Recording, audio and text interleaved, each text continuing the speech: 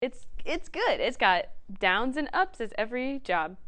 Catherine Riopel is an employee at Northwestern's Norris University Center. She is a supervisor in the productions department, which ensures rooms are set up for meetings and events. So we put in the tables and chairs, but we also put tech up and turn on projectors and TVs and add microphones and speakers. Riopel says she found the job essentially by accident. I was walking in Norris one day, and someone I knew, one of my friends from marching band, was like, Hey, do you want a job? And I said, Sure. Riopel explains that despite her responsibilities, technology isn't exactly her forte. I'm not that good at technology. Like, I'm not bad, but I'm like not great, and it freaks me out, especially when things go wrong.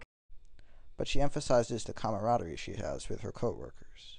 So it's all like student based and like student supervised. So like as supervisor, I like lead other students, but then also get help from other, and we all work as students with each other. Coworker Aviv Delgadillo shares how Riopel contributes to that culture.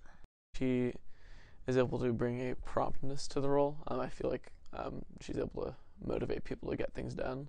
She's really fun. Um, she's always like very happy.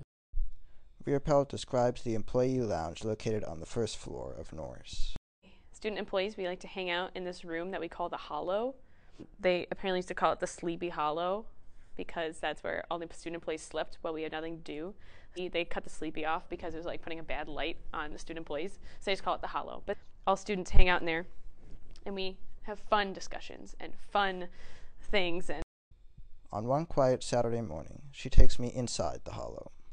The hollow contains two sofas, two desks, and walls full of bulletin boards with pictures of the staff. Riopel and her co-workers sit and wait for the walkie-talkie to sound. Center desk to CM. Go for CM. Can you let a client in the office be? 10 4. Riopel says she hopes to continue working at Norris through her senior year. One benefit of that plan?